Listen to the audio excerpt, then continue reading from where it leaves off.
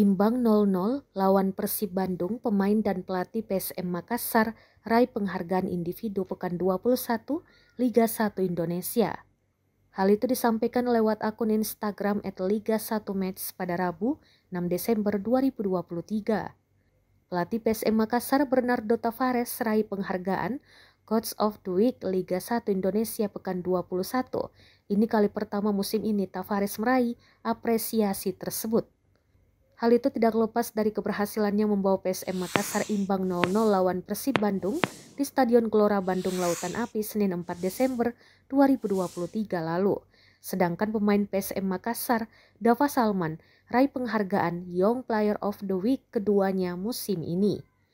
Raihan pertama pada pekan 16, Dava terpilih Young Player of the Week setelah membawa PSM Makassar menang 3-0 atas Arema SC. Berkat instruksinya, Juku Eja mampu membawa pulang satu poin dari markas tuan rumah. Pemuda Salamongan Jawa Timur ini pantas meraih penghargaan itu. Pemain 21 tahun ini berhasil mengunci pergerakan penyerang Maung Bandung Ciro Alves.